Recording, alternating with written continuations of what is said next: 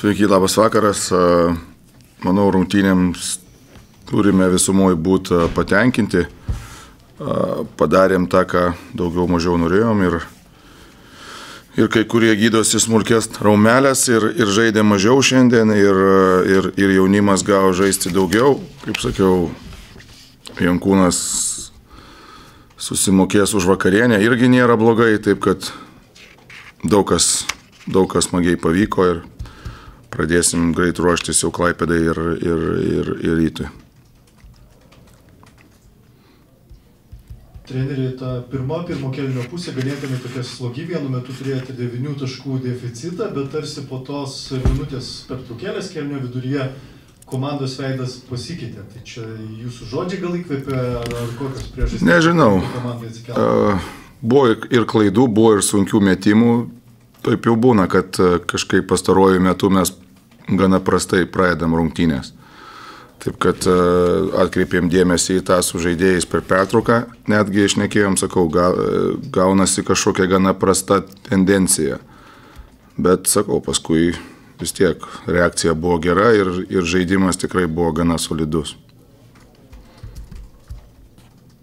Lukas Uleckas jau ne pirmą kartą įrodo taip iššaudamas, kad ko gero gali ar ne rungtyniauti ir užimti pakankamai svarbią rolę Lietuvos krepšinio lygoje. Nu, žinot, aš, aš sakau, kad jiem labai yra sunku iššauti, nes neturi jie to žaidybinio ritmo ir, ir yra gana, gana mėtomi ir tas yra suprantami iš kitos pusės. Negaliu sakyti, kad labai daug iššovęs čia yra. Ir, ir tikrai smagu, kad šiandien iššovė.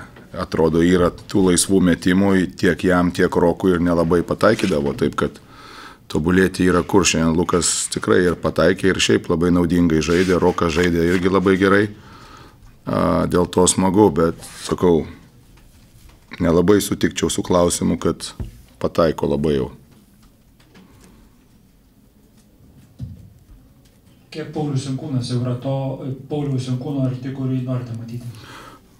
Sunku jam, vis tiek tas laiko tarpas yra didelis, kurį jisai prarado, ir, ir, ir, bet manau, kad fiziškai eina į priekį. Manau, kad šiandien irgi matėsi ypač, ypač sakysim, kom, kovoj dėl atšokusių kamolių, šiandien irgi porą kartų tikrai taip greitai suspėjo prie kamulio, kas visą laiką buvo viena iš jo vizitinių kortelių ir, ir, ir, ir dėl to smagu, sakau, vėlgi Paulius jaučiasi tikrai, kad yra pasilgęs krepšinio, labai nori ir žingsnis po žingsnio gal, gal priartėsim prie tos formos, kurio įpratę jį matyti.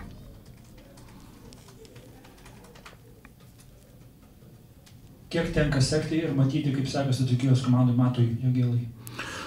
Stebim, dabar žinote, jis buvo labai ilgą tarpą traumuotas čia virš mėnesio, taip kad irgi kažkaip tai, o šiaip tai sekam labai jau savosius ir, ir aptariam, ir, ir kiek išeina žiūrim rungtynių, aišku, kaip pasitaiko su mūsų to kalendoriumi, bet tai, žiūrim, kaip sekasi visiems, ir, ir, ir Gebenui, ir Valinskui, ir, ir Jogėlai, ir vis dėlto ateis laikas, kažkada reikės priminėti sprendimus, taip kad norime būti pasiruošę. Aronas Vaitas šiandien praleido rungtynės, kokia situacija su juo? Smulki traumelė, gal 2-3 laisvos dienos, kaip sakant, padės kojos ten, kaip ir sakiau, smulkiai traumeliai aprimti kažkiek tai, taip kad nemanau, kad yra kažkas rimto, bet šitam sezono laikotarpį yra svarbu irgi kelios laisvos dienos. Dabar tos dviejos rungtynės iki playoff kaip ir nieko nebelėmė, bet varžovai tokie stipriausi, kurie turbūt gali būti Lietuvoje. Kiek žaisite galvodami apie playoffus, kiek žaisite grinai dėl pergalės? Žaisime šimtų procentų.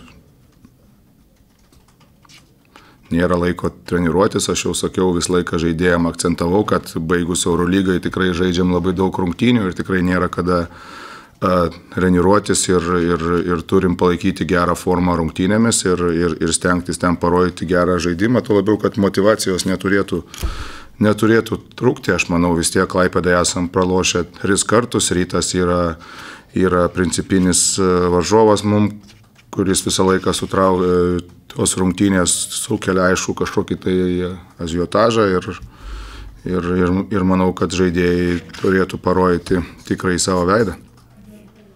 Ah, congratulations to Žalgiris. They showed why they are the best team in this league. Uh, we got uh, to a very good start. We were playing good. We were sharing the ball, uh, doing good things uh, on offensive end.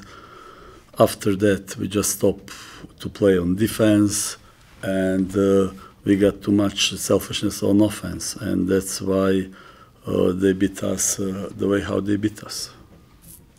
Sveikinu Žalgirį, jie šiandien įrodė, kad yra geriausia lygos komanda. Rungtynės pradėjome gerai, dalinomės kamoliu, gerai judėjome ir buvo tikrai geras žaidimas, tačiau vėliau pradėjome klysti gynyboje ir tai persidavė į, ir į polimą. Questions?